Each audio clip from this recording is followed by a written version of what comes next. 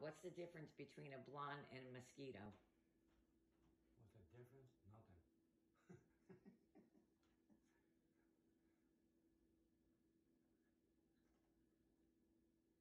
Well, think about it for a second. What's the difference between a blonde and a mosquito? Mosquito bites you.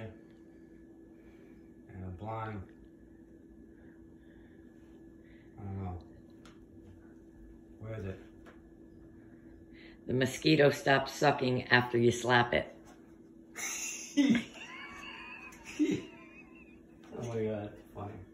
That's, that's so funny. How's it going, huh? Yeah, that's funny. You ready for another? Sure, we can laugh. No, we're trying to make other people laugh. Oh, that's easy. Just listen to me, right?